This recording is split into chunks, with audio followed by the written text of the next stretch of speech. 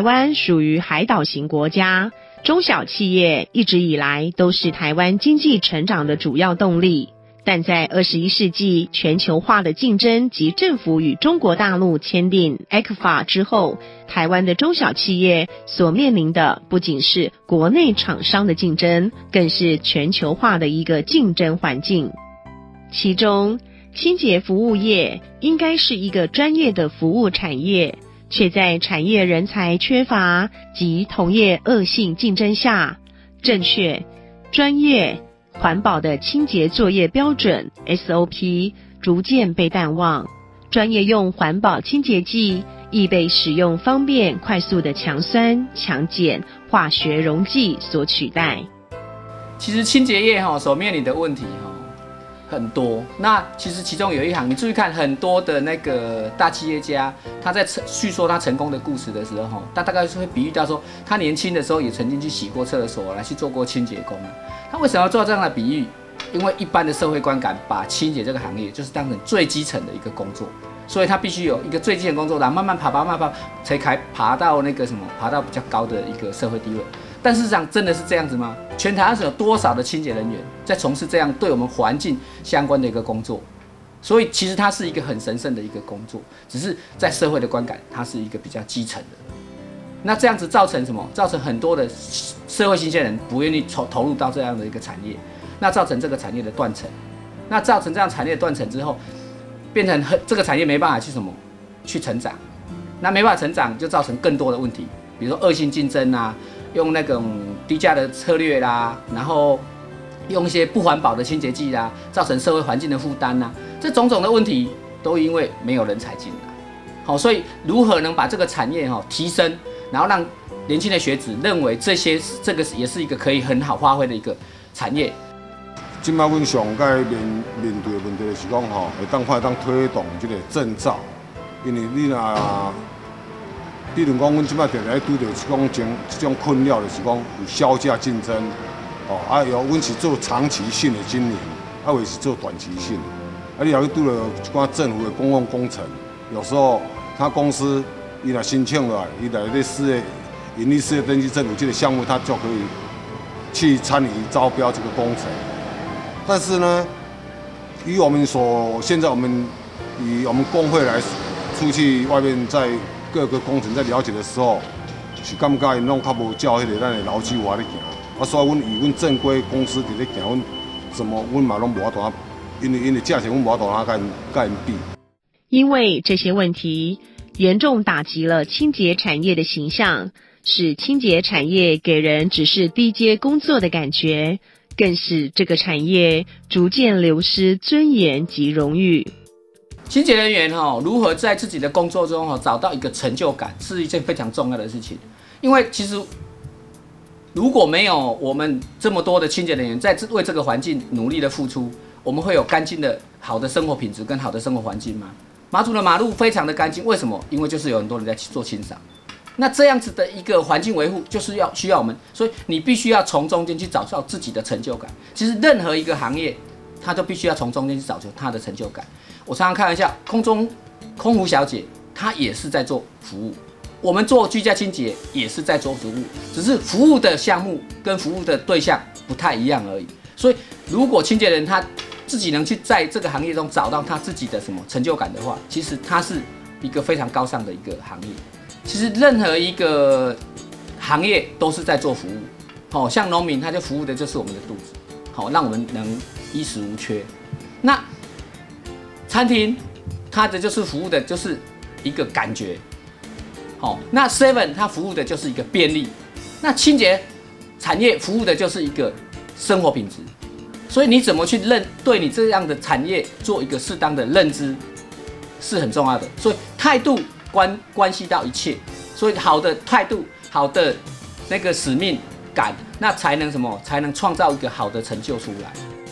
于是，一群从事清洁服务业的人，针对这些问题，在经济部中小企业处的辅导下，整合成为一个专业清洁服务企业团队。并成立了乐活居家健康产业实质合作案，目的就是为了想要提升清洁服务之水准，提供顾客全方位生活环境问题解决方案。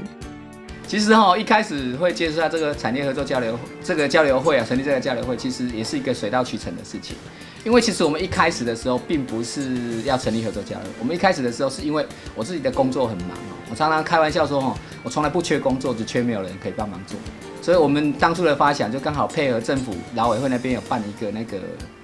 那个什么提人力那个产业加人力价值计划，所以我们就是把一些配合的厂商哦的员工找过来，一起做共同的训练。为什么要做共同的训练？因为做出来才能达到我们共同想要的品质。但这群清洁服务业各单位虽都是从事清洁服务，却都是不同性质，因此。要研究出一套所有单位都能适用及有效的训练方法，更是一大难题。经过这样子的一个合作交流会的成立之后，然后提实质合作案的一个推广，然后开始我们就从共同行销、共同采购、共同训练跟共同研发给导进来，在整个整个系统里面。那这样子系统一导进来之后，我们就知道我们要干什么。那我们说实在的，学的东西也不像管理职很多的管理技巧什么的，我们就只知道我们怎么拼怎么做。但是基金牛这样的一个机制哈，一个实时合作案的机制，很多的教授、很多的老师、很多的专家学者、很多处里面的长官都告诉我们要怎么做，所以我们慢慢慢慢慢有一些雏形出来，才怎么知道把科技化导入到这种传统产业里面去，让整个热活机可以更有竞争力，然后有一些蓝海东西出来。好，因为不要去创造那个红海策略。刚才讲我们同行之间有很多的，就是低价抢标啦，恶性竞争啊，然后这些用劣质的清洁剂啦，哎，我们不需要。为什么？因为我们创造出另外另外一个蓝海。除了共同训练的问题之外，这群来自四面八方的服务同业，原本就在自我领域拥有一片天，各有所长，因此。如何一同对外行销，就变成一项难解的课题。我们针对共同接单哈进来的 case 的一些分配方式哈，这个合作一定会有摩擦嘛。台湾人讲“甲比二下”哈，所以合作的事合作的事业本来就是一件很难的事情。但是我们怎么把这个团队运作的很好哦？其实这个也是起源于我们这个中华企业处里面这边哈有有在做合作交流会的一些干部啦，或是一些会员的训练。那我们有邀请到那个台台湾玻璃博台湾玻璃博物馆呢，是林兆衰，哈，台名将林兆衰林总经理来做演讲。那他里面有提到说群聚产产业群聚怎么去做到合作，哦，怎么样是成功？那提到一个就是虚拟的领导者，还有一个就是虚拟的团队，另外一个就是虚做做有功的精神。原本专精的部分就不一样，更不曾共事过，因此如何公平合理的派分工？就变成一门学问啊！什么叫做表工作楼主的精神？就是爱来吼，有汤加，有汤啉，够汤分多等你哦，这就是这样子的一个精神。那我有学到这样的精神，所以当我们这个单子接进来的时候，我一定是先就专业，比如说他是外墙的啊，当然一定是给外墙；如果是消毒，一定是给消毒；如果是他做居家清洁，那给居家清洁；如果是大家都共同有的项目，我一定是先发给需要的厂商。好，让让大家都没有话讲，而且大家来去五家五列，好，有得吃，有得喝，还有得拿，好，让他来有所收获，他就会有向心力过来。那通常我都是最后一个资源的啦，好，我们都是先发给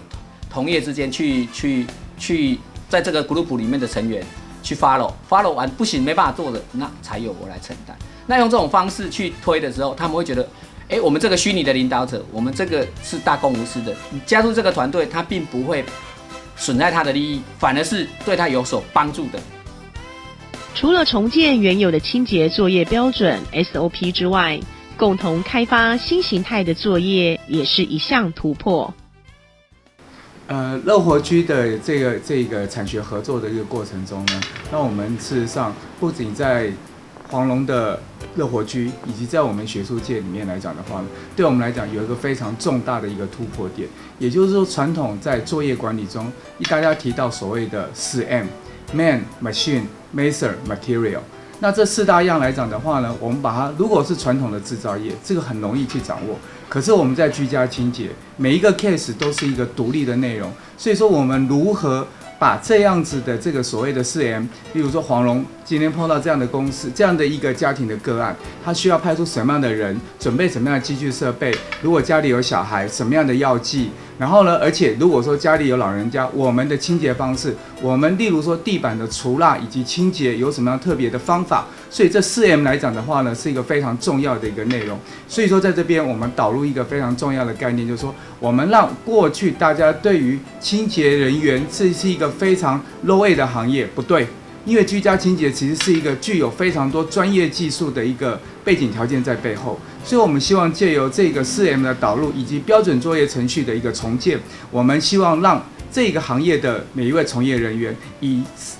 可以转换一个心态，变成一个所谓的居家医生的一个态度来看。所以说呢，我们也是用所谓的望闻问切的一个态度呢，来面对每个个案。这样的一个自信是必须来自于专业，所以黄龙也必须借由这样一套完整的资讯系统，然后呢，来控管每一位员工有没有这样子的一个。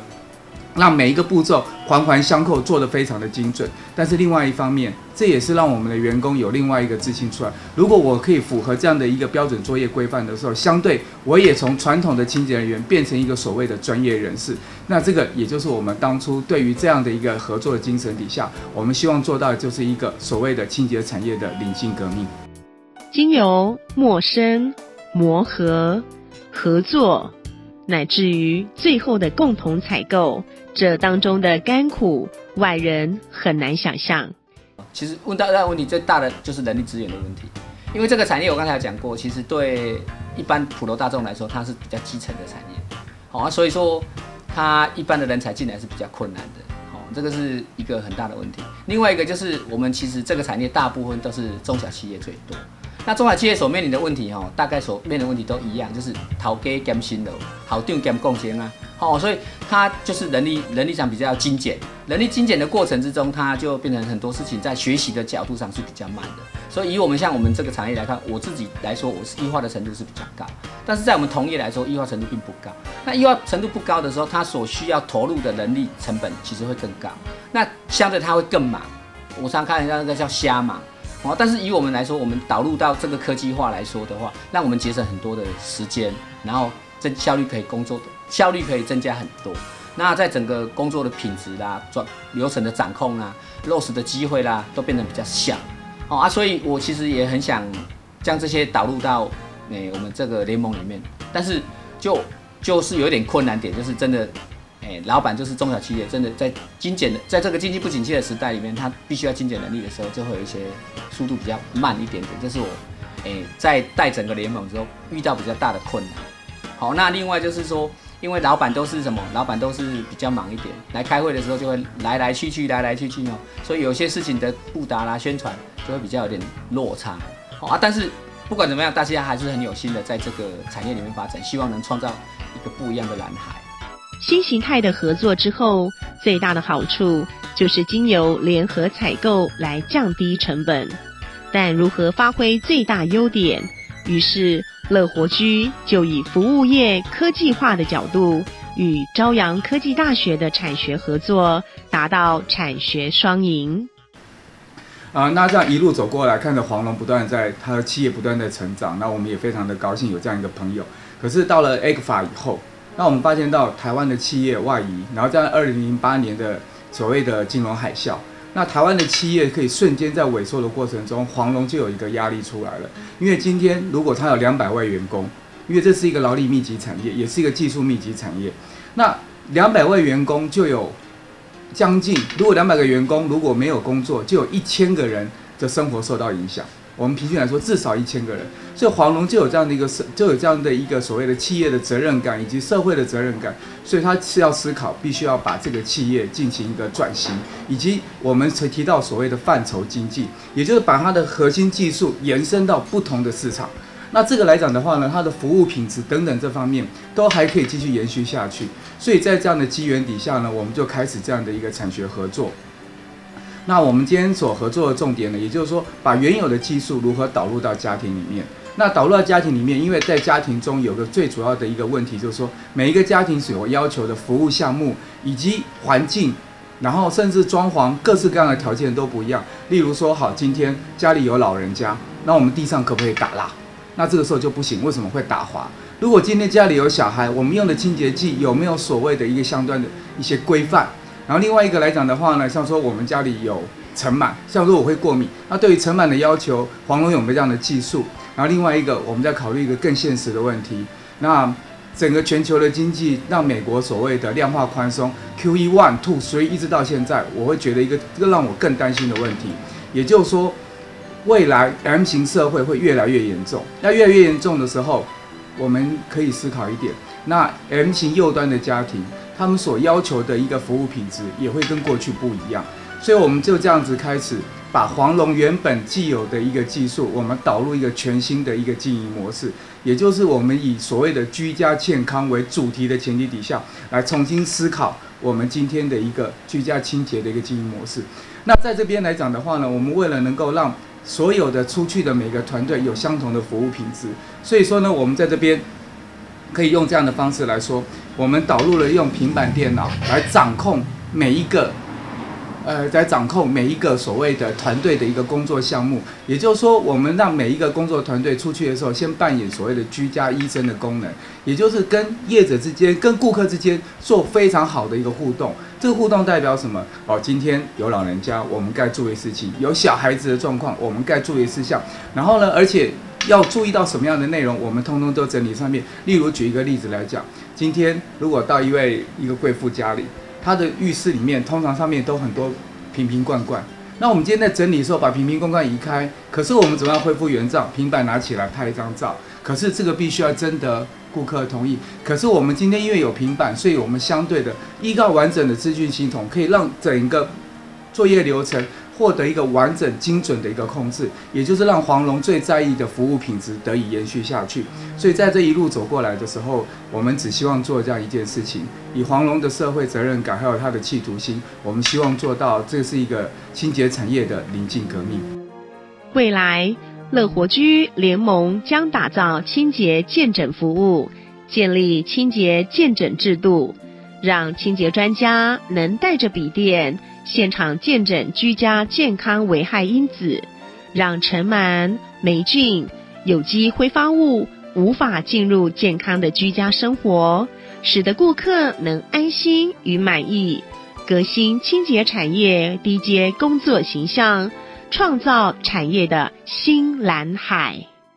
呃，整个乐活区在未来在开放加盟的过程中，我们希望说能够让整个的一个加盟体系犹如八爪章鱼一般。八爪章鱼的特色说，每一只触角它有独立作战的功能，甚至有一些有独立思考的一个的一个程度在。所以说呢，黄龙都可以训练到，就是说，希望让每一个加盟业者。他可以面对不同的个案的时候，都可以依据我们既有的一个服务品质，然后做最适当的一个回应。可是相对的，我们总部却可以很精准的掌握到每一个。呃，服务团队所面临的一个状况，所以说我们希望说，在整个乐活居的联盟底下，可以像如同说我们面对这样一个日本客户的一个精神，可以蔓延到每一个工作团队里面，有这样的一个经验，我们可以传递出去。那所以说，我们希望说，把自己的一个所谓的一个加盟体系，犹如八爪章鱼般，可以适应不同各式各样恶劣的环境，但是可以找到一条自己强而有力的一个一条生命的一个生存之道。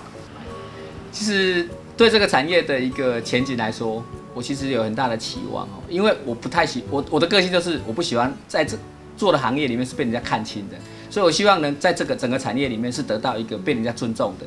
好，所以像我们主我们那个理事长谈的就是希望产业证照化，这就是一个专业形象的一个树立，然后我们希望我们这个产业这个乐活居的品牌是可以得到大家认同的，这些也是在改变所有普罗大众对产这个产业的一个什么一个观感。那另外的话，我们希望这个产业、这个联盟对大家都有帮助。有什么帮助？我们希望可以产生一个连锁效应。那这样个连锁效应，并不是说，哎，只有赚钱而已。当然，连锁店的加盟一定是可以让股东、让这些联盟的成员能赚到一些钱。重要的是，重要的是，我自己的期望是，可以借由这样的资讯的串散播，然后把这些技术传承，可以让这个产业整个产业做一个形象的改变。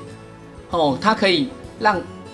很多人可以去帮人家处理到家务，然后第一个他可以赚到钱，他的技术是可以提升，他的形象是可以可以被肯定的。另外就是被我们服务的客人，他也可以获得一个很好的一个居家环境。所以我们的 slogan 就是乐活居家，竭尽所能，就是竭尽我们的能力去完成什么？